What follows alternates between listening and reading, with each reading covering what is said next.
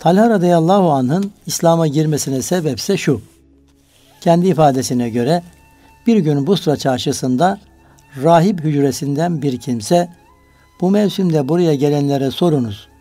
İçlerinde ehli haremden olan var mıdır dedi.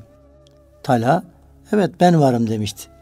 Rahip Ahmet zuhur etti mi diye sordu. Ahmet kim dedim. Abdülmuttalib'in oğlu Abdullah'ın oğludur.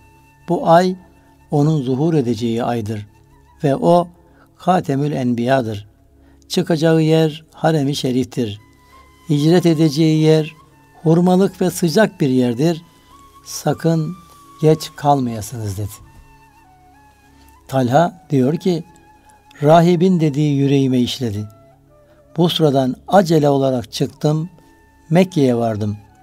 Karşılaştıklarıma dedim ki, yeni zuhur eden bir şey var mı? Dediler ki, evet, Abdullah'ın oğlu Muhammedül Emin, peygamberlik iddiasında bulunuyor. İbni Ebu Kuhafe, yani Ebu Bekir de ona iman etti. Koşarak Ebu Bekir'in yanına gittim. Dedim ki sen bu adama tabi oldun mu? Evet dedi. Ve hiç vakit kaybetmeden hemen Resul-i Ekrem'in yanına git.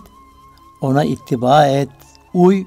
Şüphesiz bil ki o Hz. Muhammed sallallahu aleyhi ve sellem Hakk'a davet ediyor diye ilave et.